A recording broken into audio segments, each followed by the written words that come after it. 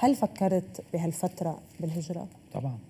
طبعا فكرت. فكرت كرمال الاولاد عندي صبي عمره سبعة وعمره صبي عمره أربعة.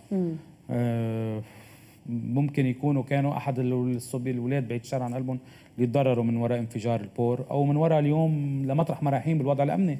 ما أنت بتعرفي انحدار اقتصادي وفقر وعم تحكي عن حد أدنى للأجور ما بي ما بيسوى شيء. يروح على الانفجار في عم تحكي جريمة عم تحكي عدم استقرار أمني عم تحكي عصابات عم تحكي كثير إشياء. بشوفي أنا اليوم هذا على سبيل المزح بتشوفي نوع السرقات أصبح مضحك. سرقة ريجارات عن الطريق. سرقة أغطية موتورات يعني حتى هيدا شيء مضحك مبكي. لأنه صار العالم عايزين شو ما كان يسرقوه. فشو بيمنع إنه كيس حفاضات للاولاد إيه فشو بيمنع إنه إنه بدي بدي بدي أفكر بالهجرة كرمال الأولاد؟ وأنا صراحة ما بكذب عليك أنا عم بحضر plan لجرب فللهم بحزيران يعني من هلا لحزيران يعني